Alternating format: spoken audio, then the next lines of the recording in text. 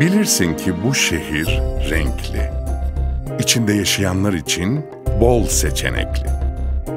Neler neler sunacak tek bir günde bu şehir sana. Nereye dönüp baksan şaşıracaksın. Güzelliğini izlemeye doyamayacaksın. Attığın her adımda huzur kelimesiyle karşılaşacaksın.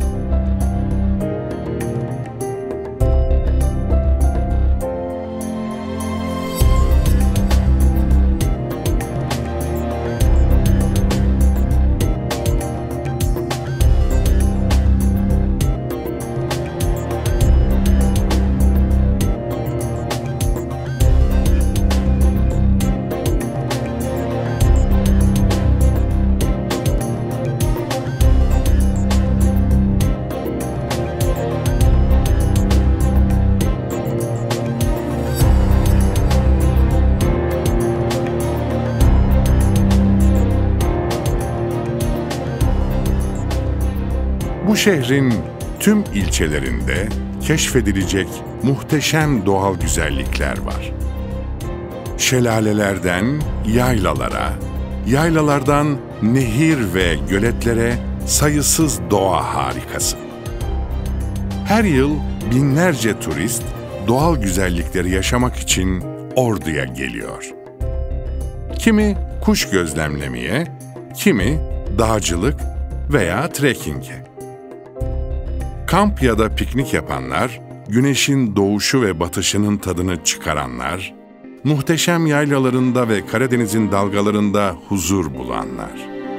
Hepsi buraya koşuyor.